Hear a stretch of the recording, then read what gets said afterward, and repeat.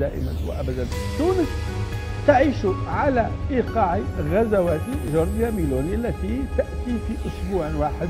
مرتين اثنتين ربما زارت تونس الأسبوع الفارط أكثر أكثر من أي مكان آخر أكثر من دار أمها وأبوها واللي خلفوها تونس تونس تونس. علاش تونس؟ ومئات الملايين التونسية أو فلنقل أه فلنقل 700 مليون وفي رواية أخرى 900 مليون وفي رواية أخرى 1 بلن دولار وأورو. مساعدات للشرطي شرطي الحدود في كل وسائل الإعلام اللي موجودة تقريب. ادخل على جوجل وسترون سنأتي عليه لاحقا. هل لإنجاح الشرطي يلزم حزمة من المساعدات أم أنها مساعدات غذائية للشعب التونسي؟ الأكيد لا توجد استثمارات والأكيد